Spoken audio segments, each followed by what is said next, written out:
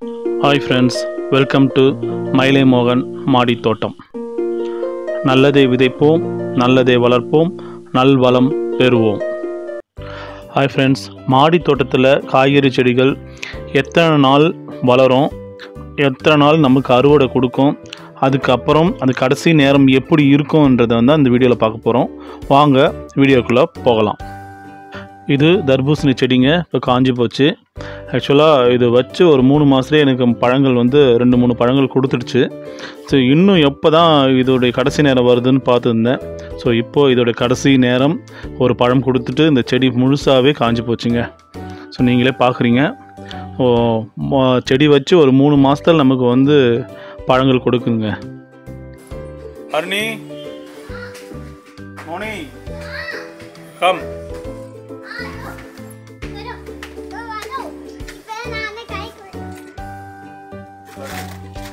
எப்படலாமா இது போ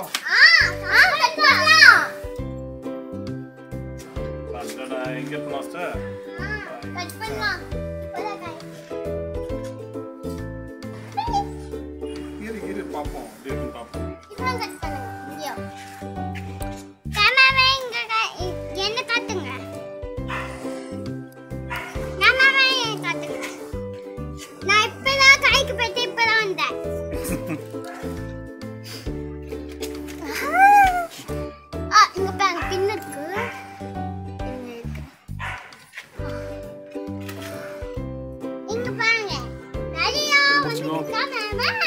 பிடிச்சிக்கோ இந்த செடியோட கடைசி பழங்க இது.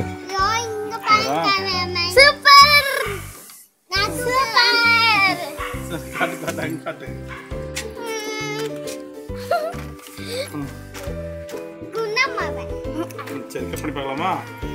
பாருங்க. இப்போ பார்த்துட்டு இருக்கிறது பீர்க்கங்காங்க. முதல் காய் நாங்கள் அறுவடை செஞ்சோம். எவ்வளோ பெருசாக இருக்குது பாருங்கள் ஸோ இது வந்து கல்யாண முருங்கைங்க இது. கல்யாண முள் முருங்கை. இந்த செடியை பற்றி நான் நெக்ஸ்ட் வீடியோவில் சொல்கிறேன் இது ரொம்ப ரொம்ப ரொம்ப செழிப்பாக வளர்கிற செடி இது. ஸோ நம்ம பீர்க்கங்காய்க்கு போவோம்.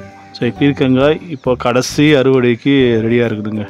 ஸோ இந்த செடியோட கடைசி காய் அப்படின்னு சொல்லலாம்.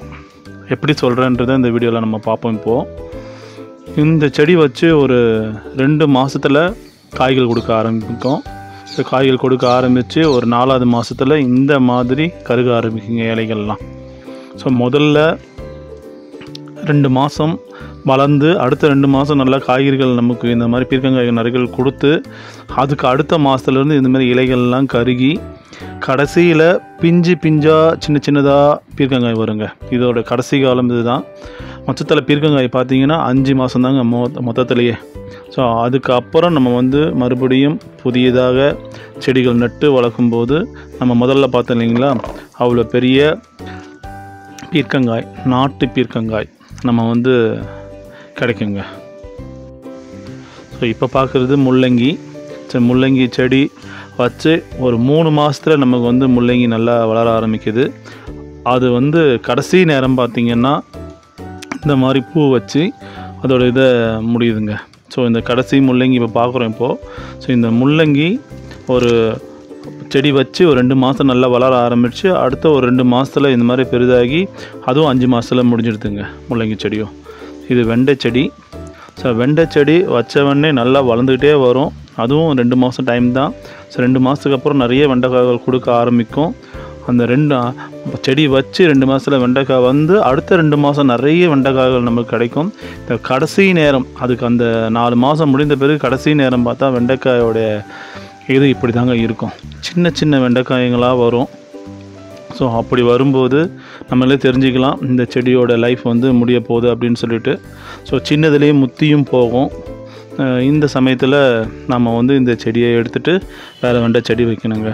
இதெல்லாம் நம்ம வந்து நல்லா வளர்த்து நம்ம வந்து செடிகள்லாம் காய்கறிகள்லாம் நிறைய எடுத்து இதுக்கு கடைசி நேரம் பார்க்கும்போது மனசு கஷ்டமாக தான் இருக்கும்.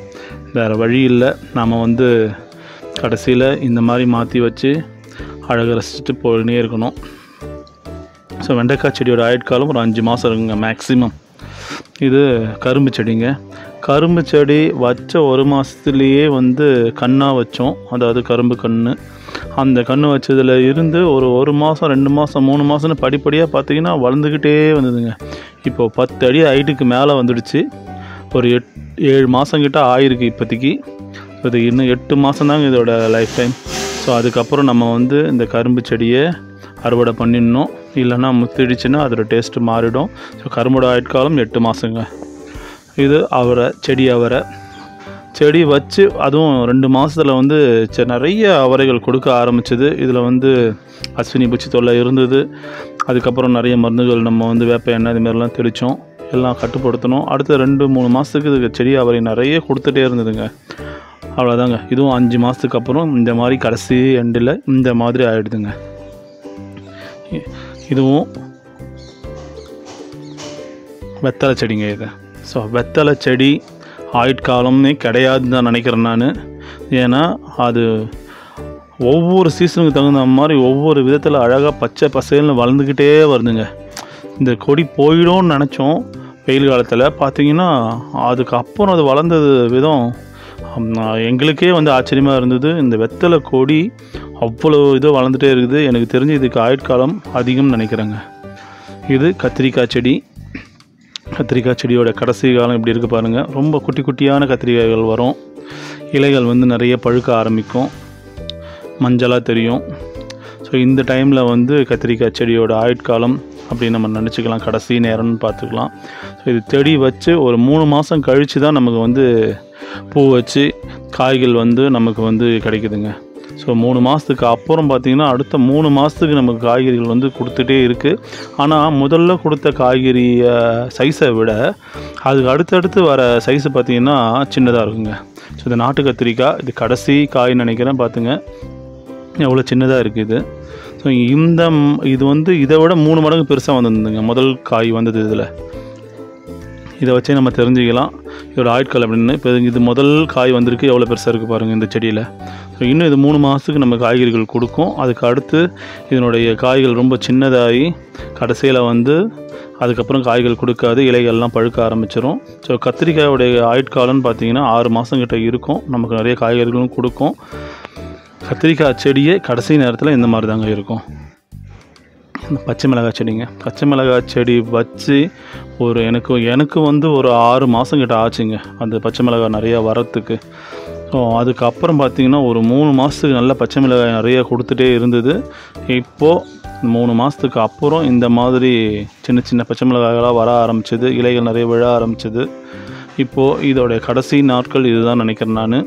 எட்டு மாதம் கிட்ட மேக்ஸிமம் வந்து பச்சை மிளகாய் நம்ம வந்து கொடுக்கும். ஆனால் எனக்கு வளர்கிறதுக்கு ரொம்ப நாட்கள் ஆயிடுச்சு. பசலைக்கீரைங்க. பசலைக்கீரை நீங்கள் வந்து இதோடைய தண்டை எடுத்து போய் நட்டு வச்சாவே பசலைக்கீரை நல்லா வளர்ந்துட்டு வரும். இது கடைசி நாட்கள். இது என்னென்னா இது வச்சு ஒன் இயர் கிட்ட ஆக போகுது. ஸோ ஒன் இயரில் நாங்கள் எவ்வளவோ இலைகள் பறிச்சிட்டோம் எடுத்துட்டோம்.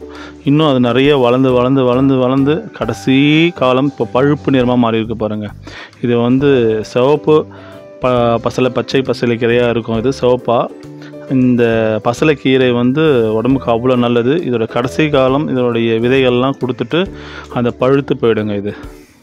ஸோ முருங்கை மரம் செடி முருங்கை இப்போ இது வச்சு நல்லா வளர்ந்துட்டு வருது.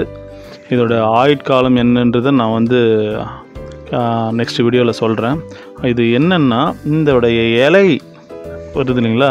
அதில் ஏதோ முட்டை வச்சுட்டு போயிருக்குதுங்க. கம்பளி பூச்சி அப்படின்னா செடியோட இந்த தண்டில் தாங்க வரும். இந்த மாதிரி இலைகளில் வராது. ஆனால் இது என்ன முட்டை என்ன ஏதுன்னு எனக்கு தெரியல. கேமராவில் இந்த அளவுக்கு தான் என்னால் காட்ட முடியுது. ஏன்னா என் மொபைலோட கிளாரிட்டி இவ்வளோ தான் இருக்குது இது ஒரு ஆர்டினரி மொபைல் தான். ஸோ அதனால தான் இந்த அளவுக்கு கிளாரிட்டி இருக்குது இதில்.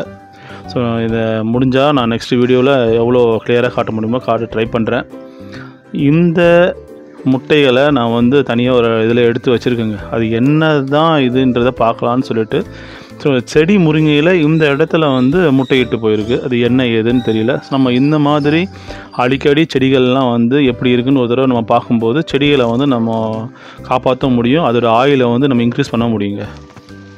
தக்காளி செடி. இந்த தக்காளியில் செடியில் நாங்கள் எவ்வளவோ தக்காளி எடுத்துட்டோம். இது கடைசி காலம். ஸோ அதோட இது எப்படி இருக்குது பாருங்கள் பெரிய பெரிய தக்காளியாக வந்ததெல்லாம் இன்றைக்கி இப்போ வந்து சின்ன சின்ன பிஞ்சாக வந்துட்டுருக்கு. இதுதான் தக்காளியோட ஆயுட்காலம் தக்காளி வச்சு ஒரு மூணு மாதத்துக்கு தக்காளிகள் கொடுக்க ஆரம்பிச்சது. அடுத்த ரெண்டு மாதத்துக்கு நல்ல தக்காளிகள் கொடுத்தது. ஆறு மாதத்துக்கு பிறகு தக்காளிகள் வந்து இந்த மாதிரி ஆயிடுச்சுங்க. இந்த வீடியோ பிடிச்சிருந்தா லைக் பண்ணுங்கள் ஷேர் பண்ணுங்கள் கமெண்ட் பண்ணுங்கள் மறக்காமல் சப்ஸ்கிரைப் பண்ணுங்கள் தேங்க்யூ ஃப்ரெண்ட்ஸ் அடுத்த ஒரு நல்ல வீடியோவில் பார்ப்போம். ஸோ கல்யாண முருகை பற்றியும் அமிர்த உரம் அமிர்த கரைசல் அதெல்லாம் என்ன ஏதுன்றதை நம்ம நெக்ஸ்ட் வீடியோவில் பார்ப்போம். Thank you friends